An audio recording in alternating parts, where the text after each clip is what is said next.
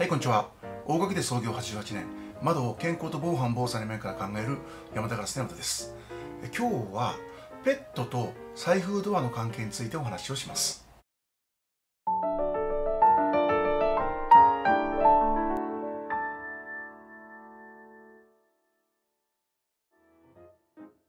今日はですね財布ドアがペットに与える影響についてお話をします。これはですねドアを変えられた時に財布ドアにされたお客様からその後の話をお聞きしているやつを少しまとめてみました。体験談を交えて少しお話をします。えまずですねなぜ彼らが風の通り道を好むかということですよね。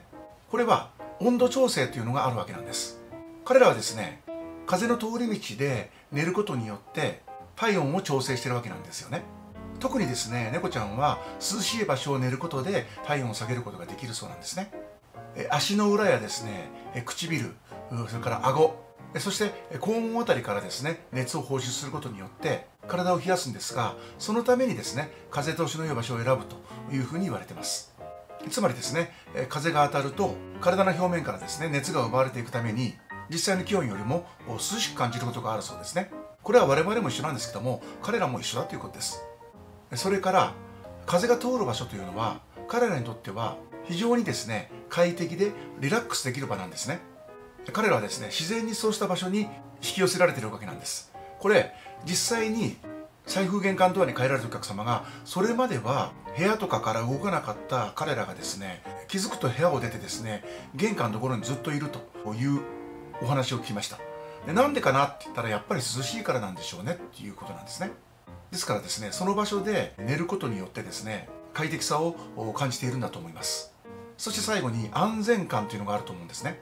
風通しのいい場所というのは視界が開けてるんですね。そのために変化に気づきやすいんです。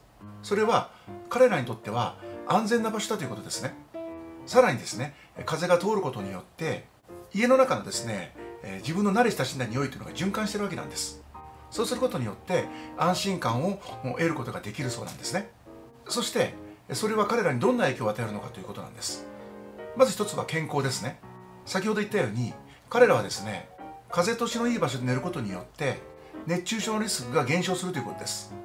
我々もそうですけれども彼らもですね熱中症にはなります。ですから快適な体温を維持するためにもですね先ほど言った風通しのいい場所というのが必要なわけなんです。特にですね高温多湿の環境ではですね風があることによって体温調整が容易になるわけなんですよね。そして快適な場所で寝ることによってストレスを減少させることができるということです。また風が通ることによってですね外のですね自然の音や匂いを感じることでリラックス効果これが得られるわけなんですよね。さらにですね行動にも変化があるそうです。風通しのいい場所で過ごすことによって彼らはですね非常に活発になりやすいと聞きます、まあ、つまりですね快適な環境で十分な休息を取ることによって活発な時間も増えるということですね。やはりこれですねほとんど我々も変わらないんですよ。そしてもう一つ玄関ドアだけじゃダメなんですよね。玄関ドアのところには土間がありますよね。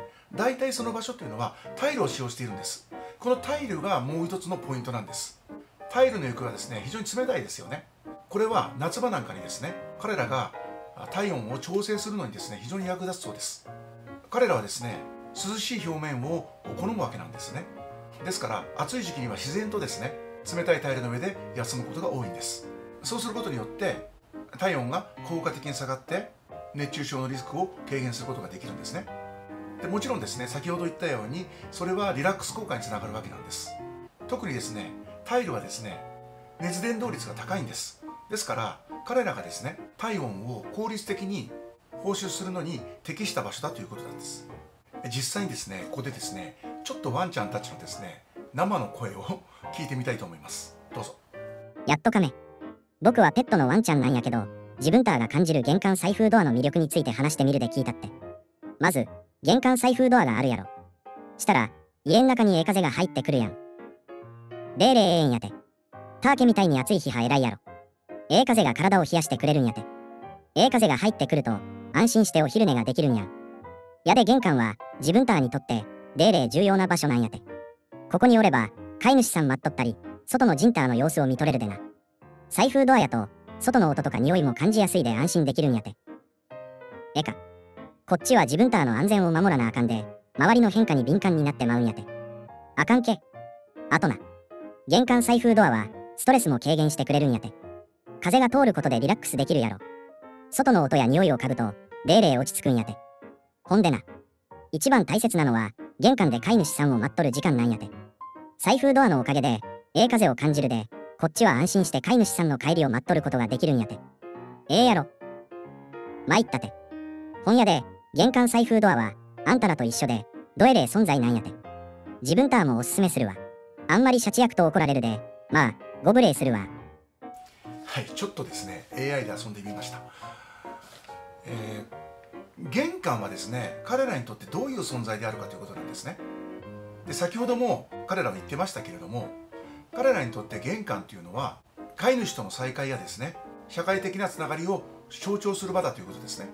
特にワンちゃんとかはですね、飼い主が帰宅するのを待ってですね、喜んで迎える行動を示しますこれ実際に体験されてる方も多いと思いますねこれは飼い主に対する愛情やですね安心感を示す行動なんです。ですから日々のルーティンとして定着してるわけなんですよね。彼らにとって玄関というのは非常にそうしたですね飼い主とのコミュニケーションの場であるということなんです。それが財布玄関ドアにすることによってさらにですね健康を守ったりとかリラックス効果を上げたりとかですね活発的な毎日を過ごすための快適な場所なんです。ですから玄関からの財布というのは非常に大事だということなんですよね。これがですねいろんな人からのお話を聞いてきたまとめなんです。ですからですね我々もですね玄関ドアに対しては財布ドアをお勧めするというのはもちろん我々にとっても大事なことなんですけどもペットですね彼らにとっても非常に財布ドアは効果的ですよということを今日はお話ししました。ご参考いただければ幸いです。